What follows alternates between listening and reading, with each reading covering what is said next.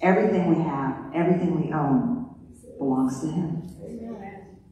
And we are just stewards of it to take care of it. So that widow woman who went to make the cake of bread for the prophet, what happened? God supplied. And she had enough to make one for her, for her son, and it continued. Story after story in the Bible, God's provision. So why do we doubt Him? Why do we have the struggle? We all have it. The struggle